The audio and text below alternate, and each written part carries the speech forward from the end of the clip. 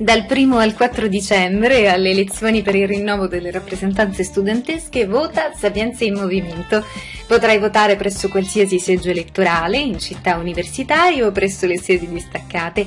Ricorda di portare con te un documento di riconoscimento valido.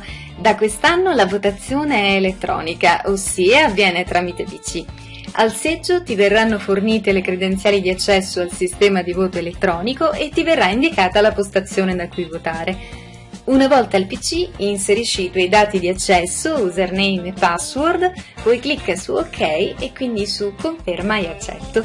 Apparirà una schermata con l'elenco delle schede elettorali così elencate, Consiglio di amministrazione dell'università, Senato accademico dell'università, Comitato per lo sviluppo dello sport universitario, Comitato territoriale della DISO Roma 1 e Assemblea di facoltà. Seleziona la scheda elettorale, clicca Vota, Seleziona Sapienza in Movimento e clicca Vota lista.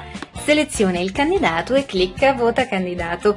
Per confermare il tuo voto, clicca e inserisci la scheda nell'urna. Ripeti le stesse operazioni per tutte le schede elettorali disponibili. Fai la differenza. Dal 1 al 4 dicembre vota Sapienza in Movimento.